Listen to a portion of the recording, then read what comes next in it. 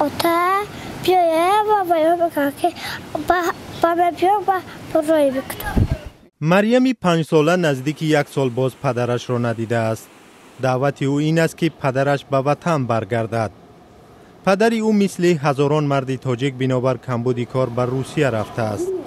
مریم با ذهنی کودکانه این مشکل را درک می کند. با چی می‌خوای که از روسیه بیارن تا؟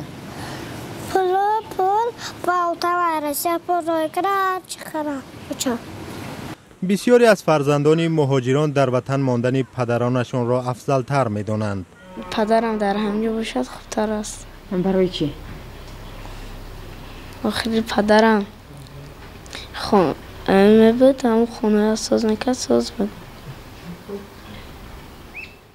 آتم در روسیه برای چی رفته از روسیه؟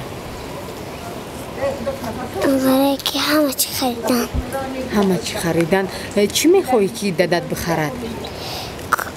و کرتا کرتای چی خیلی؟